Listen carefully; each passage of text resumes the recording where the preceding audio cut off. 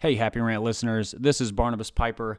You'll notice this intro sounds a little different than our usual podcast intros. First, because we don't have the screeching video game uh, synthesizer music. And then, second of all, because Ted and Ronnie are not on with me. That's because this is a bonus episode that is the audiobook foreword and first chapter of my book, The Pastor's Kid. Uh, I wrote this book originally in 2014, and my dad wrote the foreword for it and then in 2020 was able to get it re-released by the Good Book Company and and record the audiobook for it with OneAudio. So and my, and the coolest thing is that my dad was able to read the foreword. So you'll get to hear that in his voice. So um, I guess we can say we have John Piper as a guest on the podcast, although he doesn't know that this is happening. So um, he's a, he's an unwitting guest. But just a word about the book and who this is for. Um, I wrote this from the perspective of pastors' kids. So trying to write on behalf of of people like me who have grown up in the church as pastors' kids, dealing with the unique challenges of that, those pressures, that those expectations, that environment, but then also looking at what is our unique place in the church? What is our hopefulness? What does it look like to find identity in Christ when you've been told your whole life kind of what you're supposed to be? So it's for pastors' kids in that way, but then it's also for church members how to interact with and encourage the pastor's family. And it's for pastors, whether you you're uh, aspiring to ministry, you're in ministry, you have young kids, or you have you still have kids at home. This is for you. Or if you're a pastor who have uh, you know you have kids who have already left, maybe this could open the door to some conversations that you didn't know you needed to have. Um, in the few years it's been out, I've heard some really encouraging stories of how it's helped people. So maybe that's the case for you or somebody you pass this on to. I would love it if you know somebody this could be an encouragement to, you pass it on to them. So, what you're about to hear is John Piper reading the foreword to the pastor's kid, and then me reading the first chapter to it. And this is just a gift to you from OneAudio. The audiobook's available wherever you get those. And then the print book is out there as well. And actually, this week, at the time this releases, the ebook is on sale as well. So, um, go ahead and grab that if you're interested, or just enjoy the podcast. This is just free for you to enjoy. So here you go. Here's John Piper with way more dulcet tones than me and uh, a lot more good stuff to say than what we normally do on this show. Foreword. You will ask, was it painful for me to read this book? The answer is yes, for at least three reasons. First, it exposes sins and weaknesses and imperfections in me. Second, it is not always clear which of its criticisms attach to me and the church I love. Third, this is my son, and he is writing out of his own sorrows. Writing this book has been hard. Maybe it's more accurate to say that a lot of hardship went into writing this book. Some of it in my own family, and some of it through the pain of other PKs I connected with along the way. So many PKs carry so much pain and anger and sorrow with them. Some of them have fallen into bitterness, and others are rightly doing the hard work of trust in Jesus to help them through. I am overwhelmingly thankful that Barnabas is in that last category. It took trust and courage to write this book. The road has been hard. And sometimes, as he says, we need to pour out what is boiling in us. When that happens, pressure is relieved and people get burned. But Barnabas is not out to burn, not me or any pastor. His aim is healing. That is part of why I wrote this book, he says, to help PKs make sense of, sort through, and express those bottled up frustrations and pains. Frustrations built up from carrying an anvil like weight of being the most watched, the most known and the least known people in the church. But boiling over does burn. I have been hard on pastors throughout this book. I have pointed out weaknesses and tendencies and failures. I have prodded and demanded and pushed them to be different, to change, to become aware. My suggestion for the reader is that if it gets too hot in the boiler room, you take a break from the heat and jump in the pool of chapter 8. There is a stream of grace that runs through this book. You taste it along the way, but it becomes a pool at the end. A soothing. Barnabas is honest about his own struggles and failures. He has drunk deeply at the fountain of grace. He knows from experience the ultimate solution for all of us. I desire to point to Jesus as the turner of hearts and the lifter of all burdens. Grace, the undeserved favor of God through Jesus, is the source of life and personhood and identity. It is in the freedom of Jesus' overwhelming love that the PK can break out of false expectations and see what it is that makes Jesus happy. As it turns out, when the boiling is over and the burns begin to heal, there is hope for PKs and pastors and churches. It's not all bad news for PKs. Through it all, they have been unwitting and sometimes unwilling apprentices. They have seen, and many have benefited from, the bad and the good. We have seen the pleasures of ministry helping mend a broken marriage, praying with a heartbroken widow, serving the destitute man who knocks at the door, the close fellowship of a united church staff, or the deep, humbling satisfaction of seeing God use faithful ministry over time to right a sinking ship of a church. Boiling over because of painful experiences may be unavoidable at some point, but Barnabas beckons his fellow PKs not to wallow and bemoan them. Rather, we must own what responsibilities are ours to honor Jesus, to honor our fathers and mothers, to love and support the church, and to go about our lives not as victims, but as the redeemed. Grace is here for all of us, and that includes the sinful and wounded pastors. No man is adequate to be a pastor. That is a job no person is up for, not alone, not without profound grace. And that is the key to all of this grace. And of course, it is true for the wife and mother watching with tears the drama play out between her son and husband, or bearing the weight of her daughter's rejection. And finally, there is grace for the church. The church is our family. It's the family that God gave us. So don't give up on it.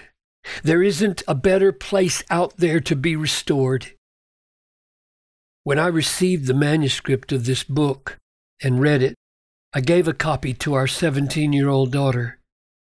Would you read this and then talk to me about how I can be a better dad? She did.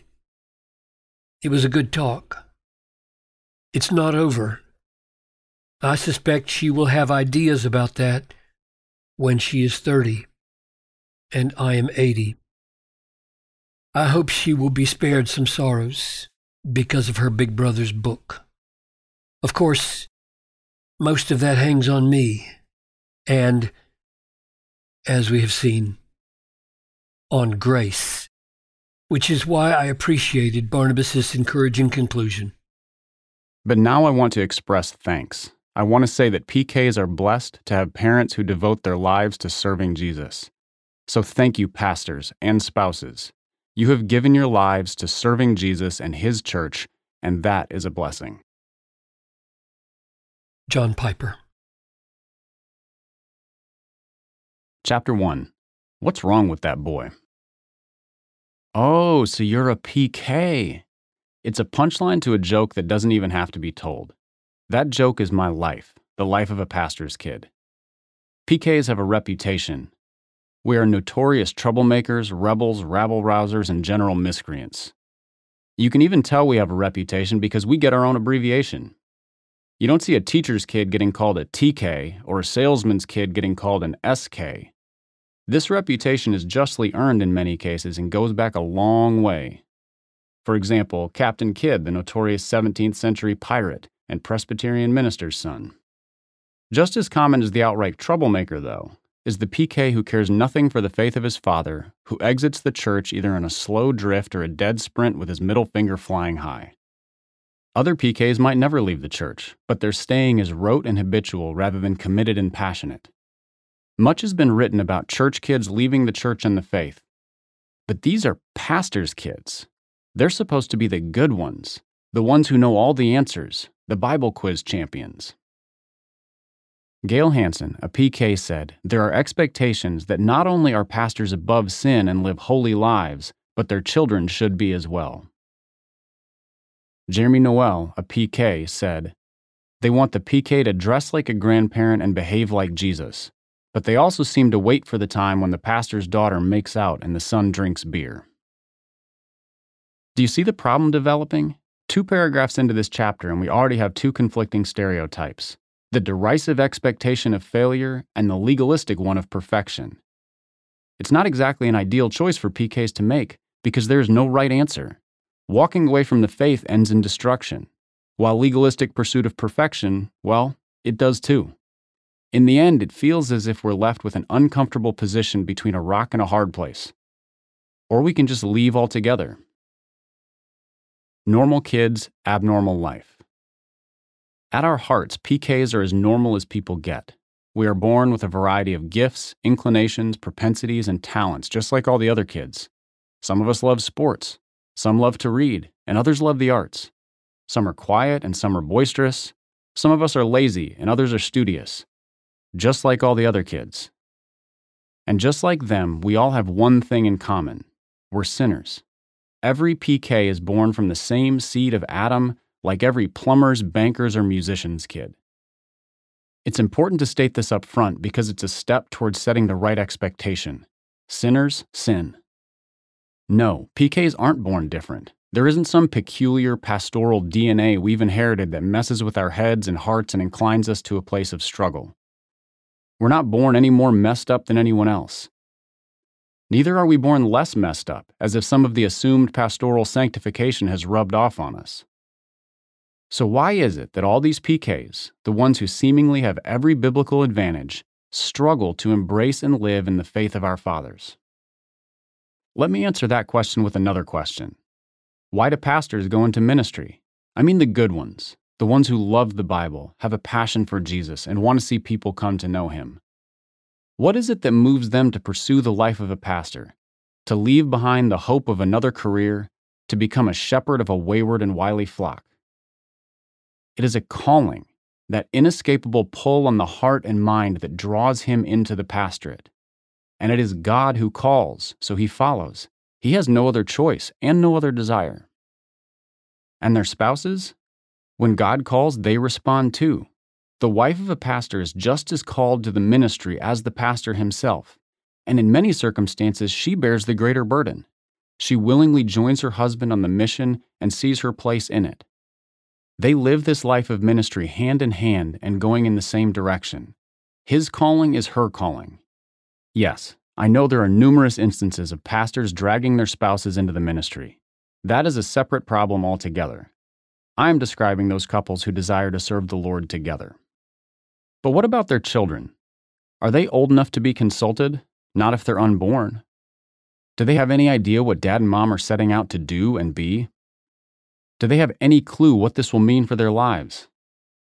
Even those kids who are old enough to sign off on the new job for dad have no idea what this will mean for their lives. And those who have yet to be born are hosed.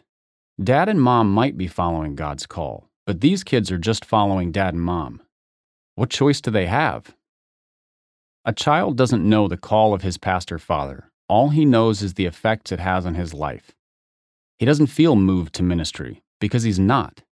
Yes, it is the call of the child to honor his parents, but that is not the same as a call to vocational ministry. The call of the Father is not the call of the child, but the ministry of the Father creates an anvil like weight on the child. He just feels the pressure of it. Even the best pastoral parents can't protect their kids from this. And it is this pressure, in part, that drives so many PKs to break. The pressure cooker. Cooking with a pressure cooker looks exactly like boiling food. It involves a big metal pot with water in it and a stove burner underneath. But it cooks food much faster than standard boiling does. Why is that? Because when water turns into steam and is trapped, it becomes pressurized, and the pressurized steam reaches a much higher temperature. So instead of your food cooking at 212 degrees, water's boiling point, it cooks at close to 250 degrees. Not only that, though, the higher temperature and pressure create chemical reactions that can increase the rate of cooking by up to four times. Why am I telling you this? Because being a PK can be very much like living in a pressure cooker. Even though we look just like the other kids and the ingredients are the same, our atmosphere is subtly but massively different. The ministry creates a pressure of expectation that is unlike any other. If all the other kids are cooking at 212 degrees, rather a challenge all its own, we are cooking at a scalding 250 pressurized degrees, and we are reaching our done point that much faster. Criselda Dirham, a PK, said, I certainly felt the pressure to be perfect. The pastoral ministry isn't like other high profile upbringings. It isn't like politics or Hollywood celebrity. Those both come with their pressures, certainly. But they don't come with the same unattainable expectations that so many PKs feel. A senator's child simply needs to look holy enough to not raise eyebrows. Then she can escape the public eye. From there, all she has to do is not get caught doing anything too stupid. For a PK, there is no choice but to be holy lest the name of Jesus and the position of daddy be shamed. The job itself requires holiness. Is it getting warm in here, or is it just me? The realities. Thus far, all I have done is recognize the presence of challenges in the PK's life and given some vague illusions as to what they are. As we forge ahead through these chapters, we will explore the realities PKs face. But before we get going, I want to make clear the premise within which I work. PKs face unique obstacles that create an environment that can lead to significant spiritual, identity, and lifestyle challenges. Sometimes these are expressed as outright rebellion, and other times you might barely know they're there because the PK has so mastered the churchy arts as to slip his hypocrisy past the most astute deacon and Sunday school teacher. Sometimes these struggles are so embedded in the souls of PKs that they don't even know if they really believe what they grew up believing. Sometimes they can't diagnose the struggles at all and have no idea they even exist. For me, it wasn't until I hit a massive spiritual crisis in my mid 20s that I began to recognize the depths of my spiritual identity issues. I was broken first by the weight of sin, then by the weight of grace. Sins that had festered in my heart for decades were exposed and ripped out. It hurt like a little sliver of hell. My false identity that hid so much dishonesty and nastiness was crushed by God's gracious discipline, and I was left with what? What was I? In the healing and restoring since then, I have seen that much of who I thought I was prior to that came from my father's teaching and the force of his ministry, but it was not my own. I did not own it or feel comfortable in it and it did not own me or comfort me. I was lost even though I knew every inch of the map. In short, John Piper's Jesus was not Barnabas Piper's. Barnabas Piper did not know the real Jesus. This is not to say I was not saved. It is to say I did not have a relationship with Jesus that was deep, close, personal, and truly life changing. By God's grace, I have not rejected that teaching or the faith my dad tried to instill in me during my growing up years. Neither, though, have I followed neatly in his footsteps. I have my own opinions, my own thought processes, my own convictions. I'm developing as a man and as a follower of Jesus differently than he did. I have different gifts, hobbies, and convictions about many things. The faith, the reality of Jesus Christ as my only hope, though, is one that I share with my Father.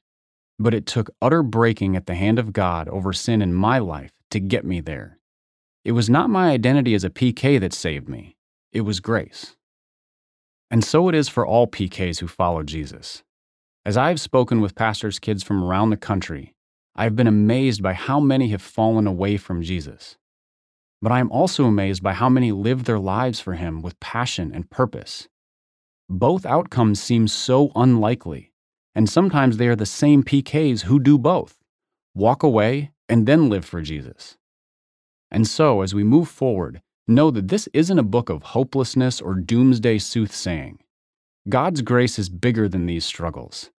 This is a glimpse into the realities PKs live as they are pressure cooked in the ministry of their parents. Our stories are different, our parents are different, our churches are different, but the pressures are largely the same. Our struggles are the same. And so we set off to know those struggles, to seek ways to avoid them, and to find what God would have us learn from them.